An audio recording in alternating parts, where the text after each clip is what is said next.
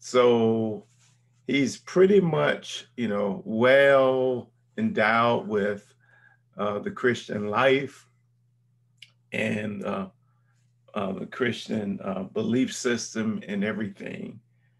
But but now he was ready to share and give his first his first sermon, and so we we have the privilege to hear uh, Paul's first sermon, which is what we'll be actually reading uh, this evening. You know, and I think of, of this particular area of scripture, I can't help but remember uh, when I when I gave my first sermon. Um, it was a it was the scariest uh, uh, feeling one could ever have.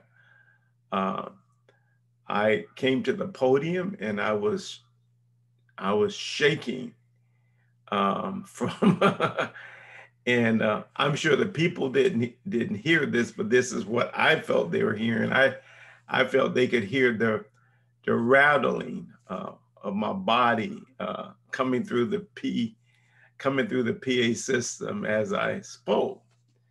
Um, I was not well prepared. Um, so all I did, uh, I read the entire book of Jonah, uh, read it very slowly, and I took my seat. That was my that was my first sermon, and uh, and the, the the the congregation was was ready for some yelling and some screaming. You know how we preachers do it. Uh, but they never got it out of me. They just got the the reading of the book of uh, of the book of Jonah. But we have opportunity this evening. Uh, Paul didn't go down the way I went down. Uh, uh Paul had already had 10 years of ministry under his belt. And Paul had a lot of lot of Bible, a lot of Bible to, to share. But um, many of us that have had the opportunity to speak before uh, individuals probably also can share how they felt uh, when they gave their first uh, message, first Bible study. Uh, it's for whatever reason, it is usually is a, a, a memorable occasion. Uh, it's um, something very, always something very comical that come out of it. I wonder if there's anyone on here with us this evening can share uh, your memorable uh, uh, experience when you either shared the word or when you had an opportunity to uh, to speak uh, in front of people uh, sharing the word before. Anyone like to comment on their first experience? It would certainly be appropriate as we dive into uh, the lesson. Go right ahead.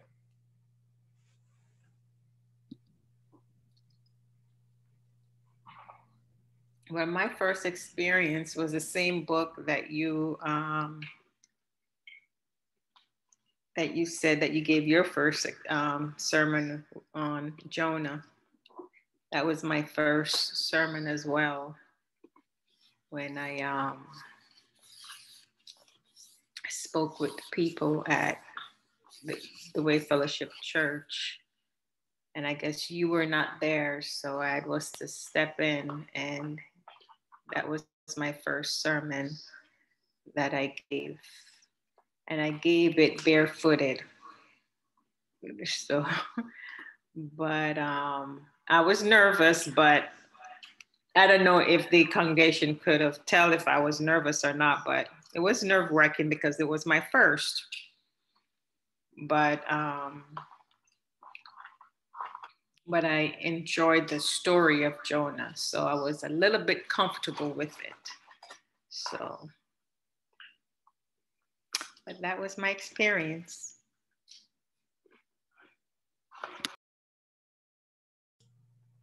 Nice. Anyone else?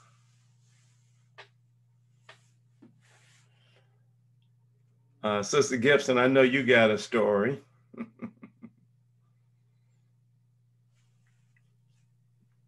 I, I don't. I don't know if I can recall. Trying to recall.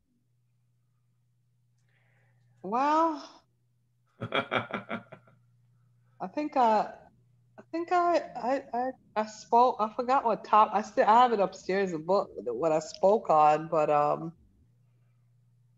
Oh my, I don't remember what the topic was. Uh, I'm so sorry.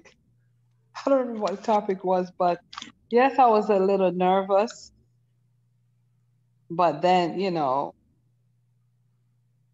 I, I made my way through it, but was a bit nervous. I don't, I said, I don't, I can't recall fully what the topic was on, but I have it written down. Yes, I have it.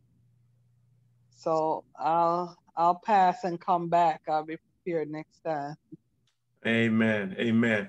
So anyway, it um, again, it, as you talk to many other uh, believers, you uh, often find out that um, most of us have something very comical uh, to say about our first uh, experience, you know, sharing the word and, um, and, and what have you. So, so Paul um, uh, makes his way on this on on on this trip, and um, when he um, when he arrives, uh, look at verse fourteen. From uh, it says from from Perga they went on to Pisidian, Antioch.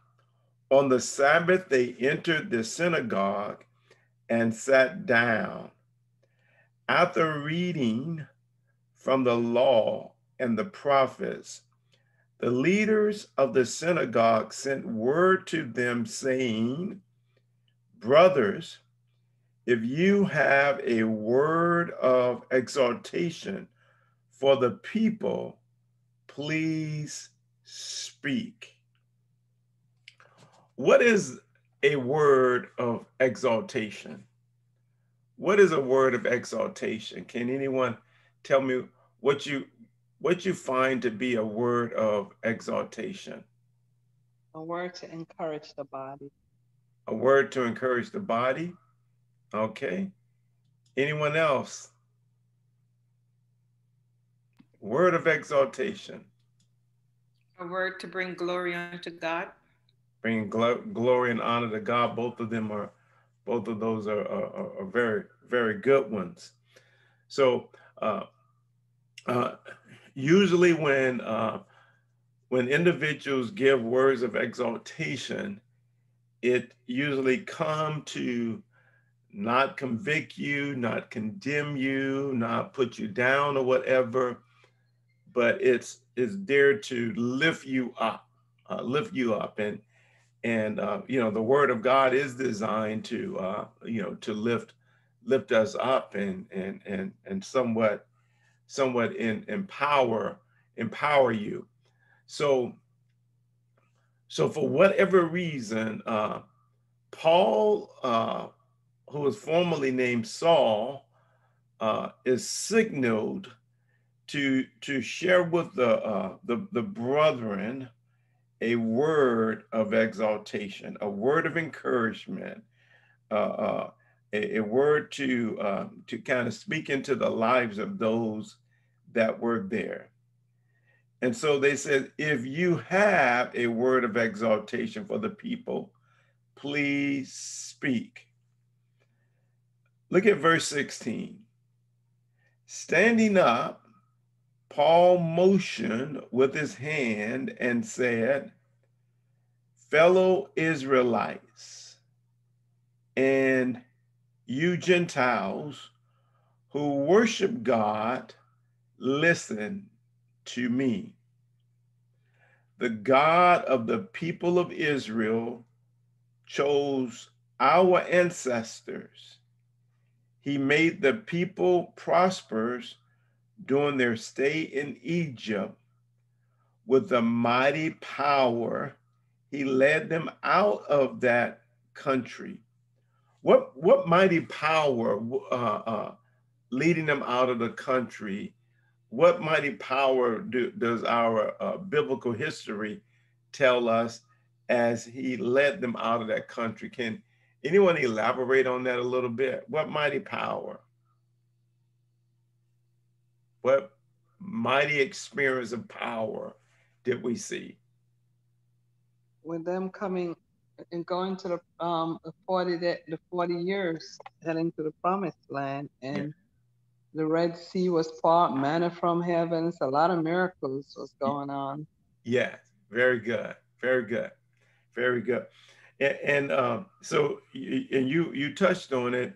He's referring to that uh, that that awesome parting of the uh, of, of the of the Red Sea and them walking on dry ground, uh, going over uh, towards the promised land. So, so Paul makes reference to that. Again, he's speaking to uh, to Jews and he's speaking to uh, converted uh, Gentiles. And so he takes them all the way back to Egypt and he makes reference to one of God's uh, most, most powerful, uh, one of the most talked about miracles of God in showing his might when God parts the Red Sea. So he says, The God of the people of Israel chose our ancestors. He made the people prosperous during their stay in Egypt with mighty power. He led them out of that country.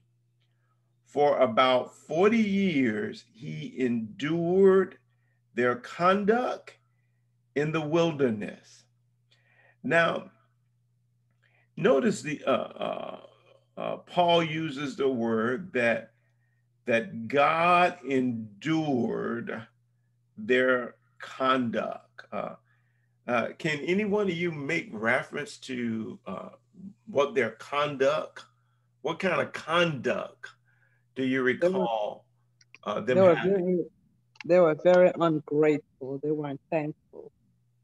Yeah. Very good. Yeah, they were uh, they were complaining, uh, they were uh, murmuring, they uh, got got tired, tired of the fresh uh, manna uh, that uh, he fed them, and and then they was given quail, and they were not real happy people at all. And when they learned that the Egyptians were out to uh, pursue them, were headed to pursue them and take them back uh, captive, uh, they became upset with Moses for pulling them out of that situation because now they feel like, well, now you have really put us in danger. So, so we see that here again. This is this is all in uh, the the um, the uh, the message of Paul, and and, and, and, what we're doing, we're really just taking Paul's uh, message and we're kind of breaking it up and kind of taking it apart. Uh, look at verse 19. And he overthrew seven nations in Canaan, giving their land to his people as their inheritance. All this took about 450 years so, so Paul is, is giving them 450 years of biblical history, uh, which is he, which is what he's he's given to them as part of his words of exaltation. And and and after and, and after this, the scripture tells us, and and after and and after this, God gave them judge, judges until the time of Samuel the prophet. So again, they, they are all uh, recipients of a, of a great Bible lesson. They're all recipients of a great Bible lesson. So he tells them that uh, that that after this God gave them judges, uh, gave them judges until the time of Samuel the prophet. For those of you just tuning in with it with Acts chapter 13, and we are right uh, we're, we're right in the middle of uh, verse 20. Then the people asked for a king, verse 21, and he gave them Saul, son of Kish, of the tribe of Benjamin, who ruled 40 years. After removing Saul, he made David their king. Now, it, it, it, it is amazing that he, he brings them to the point of, of, of, of Saul and, and David becoming king because David is, is, is really where it really un, unravels, is, is really where it unfolds. Uh, after removing, again, verse 22, after removing Saul, he made David their king. Now, David and Saul was two, there's, there's two ways of defining uh, these two kings. Saul was a was someone that was chosen by the people. But David was chosen by God. And so that's what separates the uh, the the the the, uh, the, the two apart. Uh, God wanted to be their ultimate king, but they wanted a king that they could touch and and they could be in the in the presence of, and it went to Saul. But we know the story of, of, of David and David's appointment as king. Um, there is no indication in David's life where David made preparation to become a king. What we know of David's earlier life is that he was very good with uh, with, with sheep, and um, and so the father kept him out working with the sheep and and he had all kind of experiences with the sheep but but there's no indication that he was being groomed and he was being prepared to be the king of Israel. So Saul was a Saul was chosen by the people. David was uh, uh, anointed by God. So, verse 22 again after removing Saul, he made David their king. God testified concerning him I have found David, son of Jesse, a man after my own heart. And, and you won't find this nowhere else in scripture. And I I had the hardest time. I was looking for this passage of scripture some time ago. I had the find, hard, hardest part because I was looking for it in the Old Testament, but I find it in Paul's sermon. This is where this is recorded. Is in is it is in Paul's sermon. Let me read this one more time because it's very profound. I have found David, son of Jesse, a man after my own heart. Hear these words. This right here. He will do everything I want him to do. If you ever get involved in a in, in a, Bible quiz and someone raises the question, why was David a man after God's own heart? Here it is, is, is buried right in Paul's sermon of exaltation to the people uh, right here where it says, a man after my own heart, he will do everything I want him to do. That's how in all of Paul's study, and and and Paul uh, was able to study under a, a great uh, Jewish scholar by the by the name of Gamaliel, and so Paul was able to gather all of that information from from all of his teachings about the life of David, the life of David, that whatever God wanted David to do, David was willing to do that.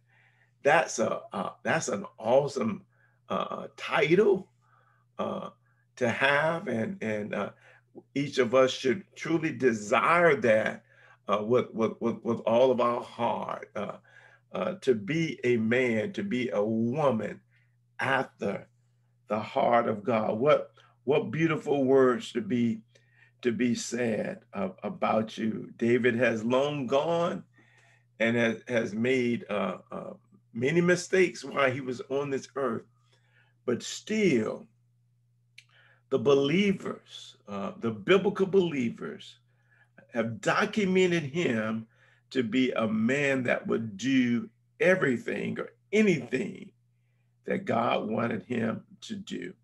Again, we're still dissecting Paul's sermon. And he goes on in verse 23 from this man descent, descendants, God has brought to Israel the Savior, Jesus, as he promised. That's what he says. It is, it is, it is through him. It is through him that God has brought forth a savior, Jesus, as he as he promised. Before the coming of Jesus, John preached repentance and baptism to all the people of Israel. Now, what Paul had just done uh, to them Paul had pretty much preached the Old Testament and the New Testament all in one setting the Old Testament and the New Testament. Now, these were the he was uh, he was he was he was speaking in the in the, in the synagogue as we've established earlier on, and he connects them. They they obviously knew the law, but he connects them to the Savior that represents grace. He connects them to the, the to the to the Savior that that represents that represents grace. And so he goes on to goes on to say, he says, uh, uh, as John was com, uh, com, completing his works, he said, who do you suppose I am? I am not the one you are looking for, but there is one coming after me whose sandals I am not worthy to untie. Again, Paul is giving uh, them uh, a lot of history a, a lot of a, a, lot of information that truly uh, connects them uh, to, to to Christ. And and he and he goes and he goes on to say, fellow children of Abraham, and you God-fearing Gentiles. Again, he's talking to the Jews and he's talking to the Gentiles. That's everybody it is to us that this message of salvation has been sent. Okay, it is this message of salvation. It's been, it's been, it's been sent. He talked earlier first to the Jew and then to the Gentile. The, the people of Jerusalem and their rulers did not recognize Jesus, yet in condemning him, they fulfilled the word of the prophets that are read every Sabbath. Though they found no proper grounds for the death sentence, they asked Pilate to have him executed when they had carried out all that was written about him, they took him down from the cross and laid him in a tomb, but God raised him from the dead. And for many days he was seen by those who had traveled with him from Galilee to Jerusalem. They are now his witnesses to our people. Again, this is this is all Paul's sermon. Uh, they call it Paul words of exaltation uh, to the people. And so when we when we when we uh, are preaching to individuals, we should never ever lose sight of what God has done for us. And so Paul takes him on this journey, and now he's at a point of explaining to him, to them, the resurrection of Jesus Christ. The resurrection of, of Jesus Christ. You know, you you think he addressed the power that that parted the Red Sea, but now he's talking about the power of God that raised Jesus from the from from the grave. And Jesus was left with countless numbers of witnesses, witnesses to testify, to testify about all of the great things God has done. You know, for for for a man to be uh, a fairly young convert, I think we could say, certainly he understands his biblical history. So he goes on in verse 32 We tell you the good news. He said, We tell you the good news, what God promised our ancestors. He has fulfilled for us, their children, by raising up Jesus, as it is written in the second Psalms You are my son. Today I have become your father.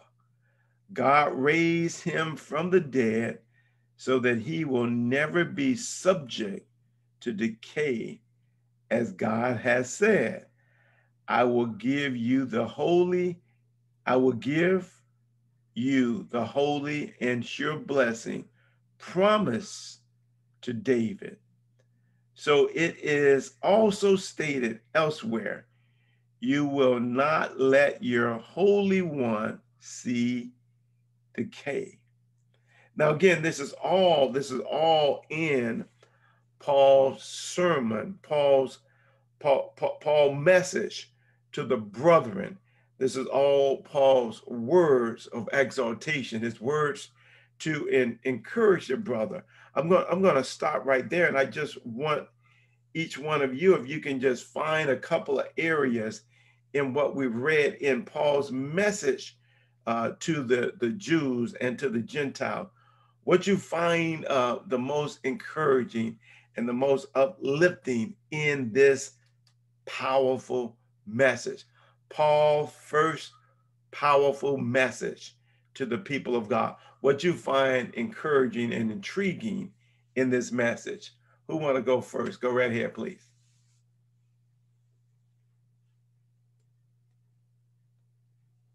Go right ahead, please. Just turn your mic on. Well, what chapter you in? We're in 13, my brother. Okay. Go ahead, my dear sister. What I found intriguing is that it's the last, the last, um, the last verse that we read, and concerning that he raised him up from the dead, and now no more to return to corruption. And he said, On this wise, I'll give you the sure mercies of David. Wherefore, he hath also in another psalm, Thou shalt not suffer thy Holy One to see corruption.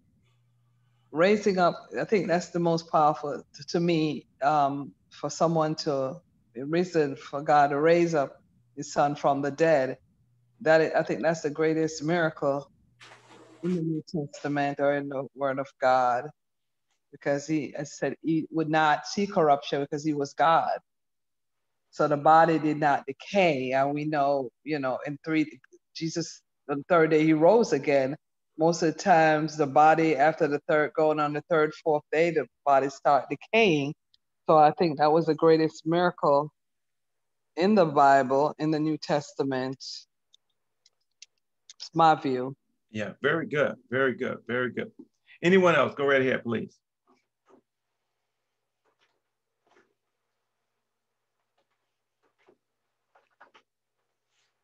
So we go, we we will uh, move on. Um, when we look at verse 36, again, we all we're doing is we are uh, uh, uh, dissecting Paul's first sermon.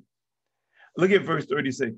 Now, when David had served God's purpose in his own generation, he fell asleep and he was buried with his ancestors and his body decayed. But the one whom God raised from the dead did not see decay. It was known um, during uh, the life of Jesus um, that that when a person dies, that the that the spirit of that person's spirit hovers over them for uh, three days.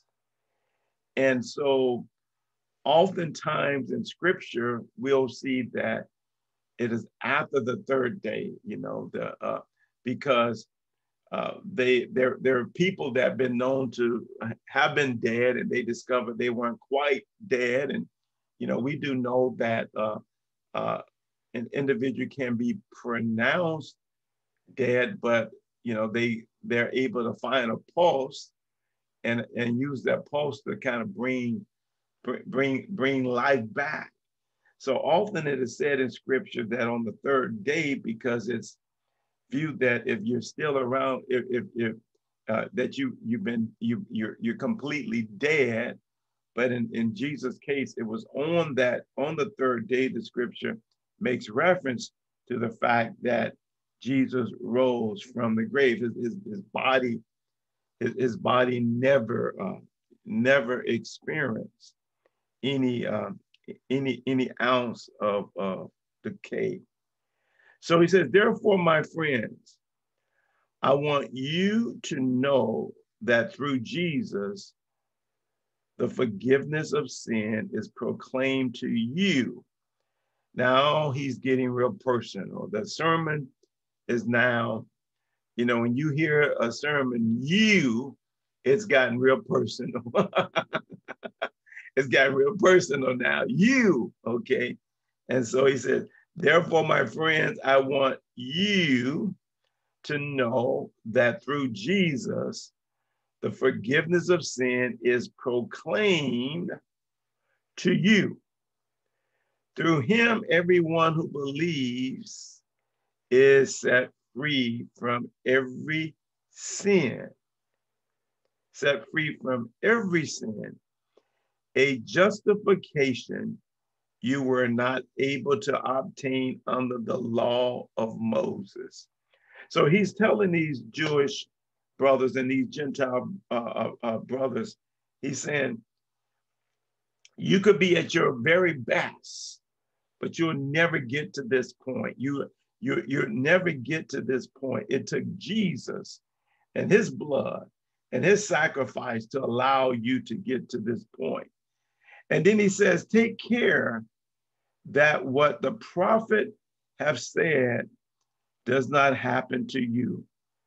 Look, you scoffers and wonders and perish, for I am going to do something in your days that you will never believe, even if someone told you.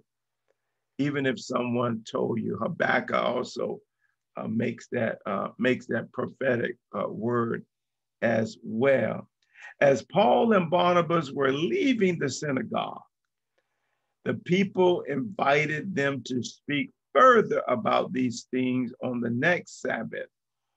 When the congregation was dismissed, many of the Jews and devout converts of, to Judaism followed Paul and Barnabas, who talked with them and urged them to continue in the grace of God, to continue in the grace of God.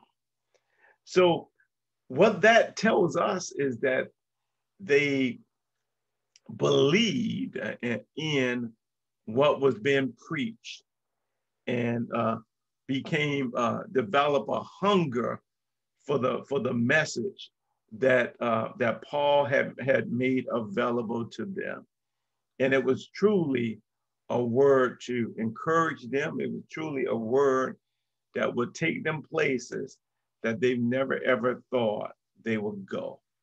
The word of God is still, you know, the most the most powerful thing that you can ever be involved in. I, uh, my wife and I we were having a, a discussion uh, concerning a client of hers earlier, and um, and we were just talking about the, you know, the greatest thing that we can offer to any individual is to encourage them with the Word of God.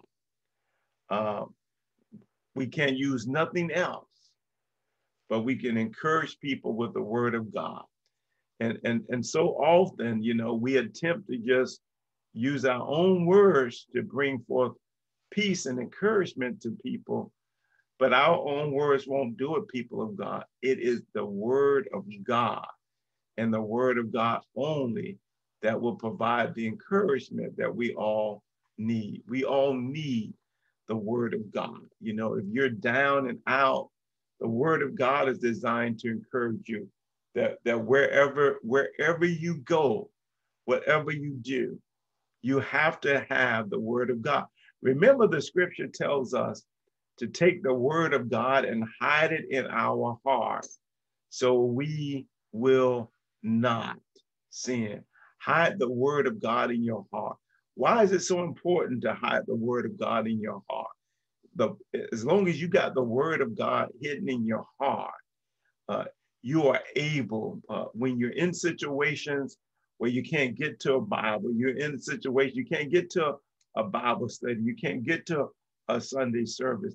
If you got the word of God hidden in you, you can begin to read the word of God. I, I like to encourage folks to take scriptures and memorize them, memorize the scriptures, get those scriptures in your spirit. The, the more you're able to memorize scripts and get it in your spirit, not only are you able to be of encouragement to others, but you can be of encouragement to yourself by by having having the word of God.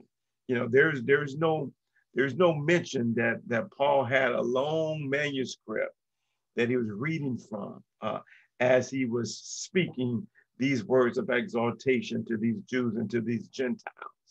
But we but we see the results. We see the results of the of, of the word of god.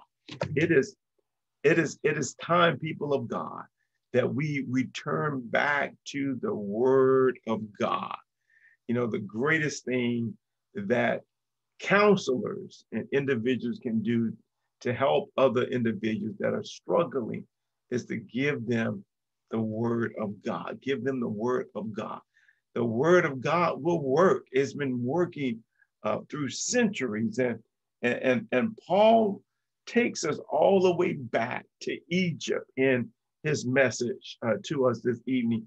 He takes us all the way back to Egypt and he concludes his message by taking us to the tomb, an empty tomb, the empty tomb of Jesus Christ. What a powerful, what a powerful message.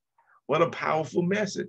This, this, this same individual that was preaching, he wrote, I believe in, I believe in, in Romans, uh, in Romans gospel, that he that, that he stated, that he stated, and his, his prayer was that that he said, I, I pray that I might know him and the power of the resurrection and the fellowship of his suffering that's that's where Paul was at. That's where Paul was at.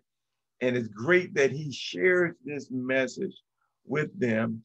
And they were they were so encouraged that they followed him and began asking more questions, more questions, wanting to know more about him. Look at look at verse 42 as we as we close out our uh, study this evening. It says, as Paul and Barnabas were leaving the synagogue, the people invited them to speak further about these things on the next Sabbath. When the congregation was dismissed, many of the Jews and devout converts to Judaism followed Paul and Barnabas, who talked with them and urged them to continue in the grace of God. Continue in the grace of God. We're gonna we're gonna stop right there. We'll finish up the other part uh, next week. Want to open up uh, the lines for any questions or any final thoughts uh, that any of you would like to share with us this evening. Anything that kind of stood out uh, that you want to uh, uh, share further, want you to uh, do so at this time. Just go ahead and turn your mic on and begin to share. Anyone, go right ahead, please. Go right ahead, please.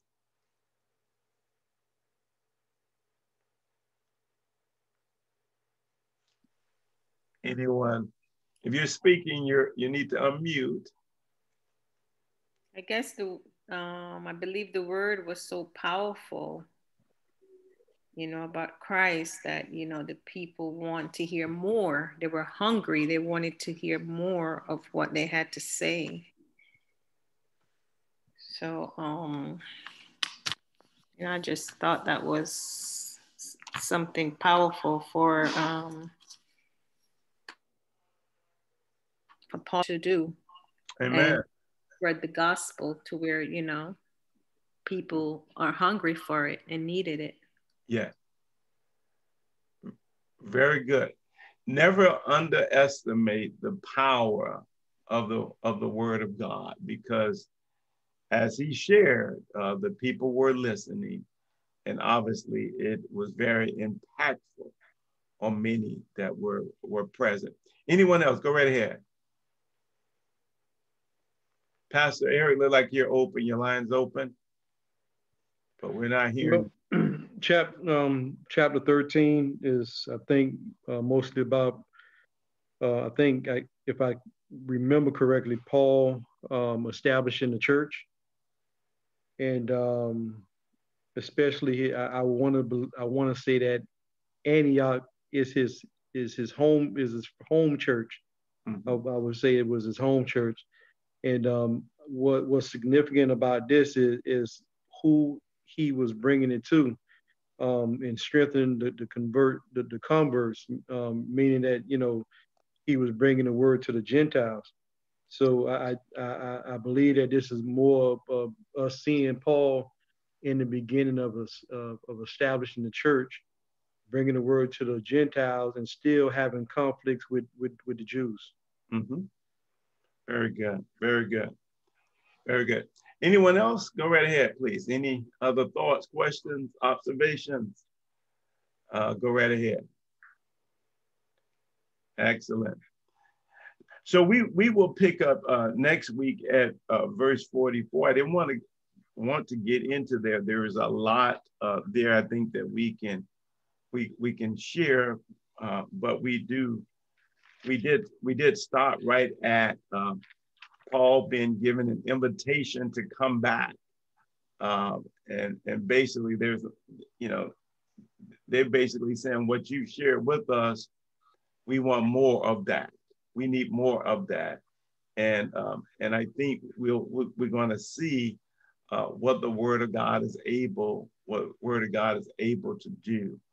Uh, you know, we I think so, so often we just don't give the word uh, the respect and the attention that it really requires because the, the the, the Bible says that God's word will accomplish uh, whatever it set out to accomplish.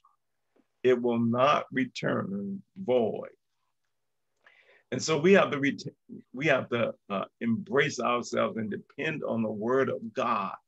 Although it may appear so often in times, it may appear that the word is God, word of God is not working for you. We have to still believe. We have to still believe in the midst of all of our trials and, and, and, and tribulations. Sometimes it seems like the more we embrace God, the worse things get. But we have to understand that God is working. God is working. Oftentimes, when things are getting worse, God is at work, and there's something that God needs to uh, something that God needs to do before uh, the breakthrough is required. Uh, and so we have to cling to that. So want want to encourage you uh, to read the remaining of this uh, chapter, beginning at verse 44, uh, all the way uh, all the way to 50, 52, uh, in preparation for uh, for our Bible study next week. Again, it's been uh, great having each of you here. We're gonna want to close out in a word of prayer. If there's some special prayer requests at this time, uh, we want you to uh, make those known. Uh, want to have Pastor Eric, if he would close us out in prayer. Any special prayer requests? I want uh, want to uh, have you uh, keep Dr. J.D. Norris' son in prayer. his son, James Norris, has been hospitalized with some some breathing, some lung issues as well as his daughter. Uh, and they're not sure what's wrong with his, his, his daughter, Dr. J.D. Norris family told him that I will uh, share with the group uh, his, his request uh, for prayer. You know, Dr. J.D. Norris, that's my spiritual father. So want, want us to keep him in, in prayer, obviously keep the church uh, family in prayer. Any other special prayer requests? Uh, please make them known at this time.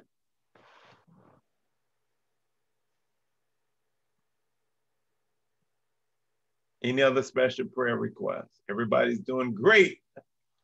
That's what it sounds like. It's silence. Silence. Well, praise God. We praise God for you. For um. Keep my mom in prayer. Okay regarding health? Health.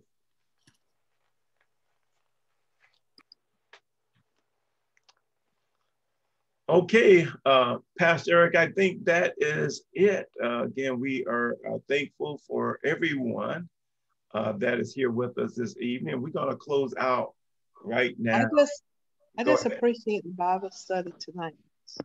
Thank you. I'm sorry, I didn't hear you.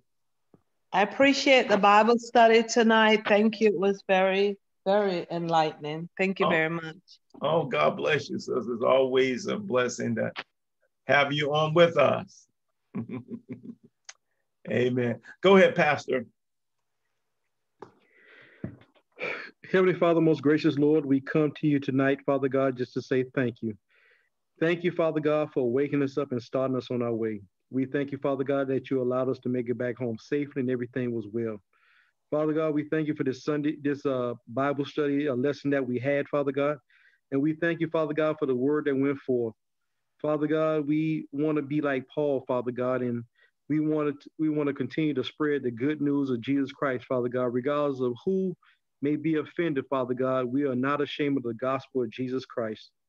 Father God. We thank you for Pastor Baker, Father God, and his family, Father God. Continue to look upon them, Father God. Bless them, Father God, in, it, in each and every area that they need a blessing, Lord. Father God, we come to you this out this night, Father God, just asking you, Lord, um, to have your way, Father God, in J- JD Norris' uh, family's life, Father God. Father God, there's some sickness that has hit his son and his daughter.